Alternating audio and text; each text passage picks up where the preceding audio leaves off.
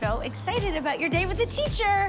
That is one great head of hair. Well, okay, yes, it is a great head of hair, but it is not a date. It is a do-over between two people who got sick on one another. Let's take the romance out of it. I think you just did.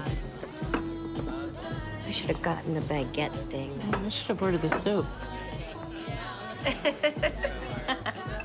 so, I have a favor to ask, and it involves manual labor and you two coming to Brooklyn. Well, how can we say no? Oh, Oh, no, no. I'm asking, how can we say no? you can't. We need a huge turnout on Saturday to finish painting the women's shelter I've been working on with Nya, and it would be so great if you guys would come help. I'm there, and I'll bring the kids. I'm a really good painter. Carrie?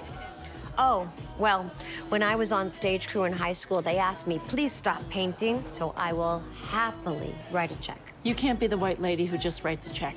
If I can paint, you can paint. You gotta change it up. Speaking of change, gotcha. remember how I was still getting my period very regularly for years after you guys had stopped getting yours? It has been so long since we'd heard from Smug Charlotte. I was afraid she'd retired. Well, I think I'm done. Mentioning it? No, done, done.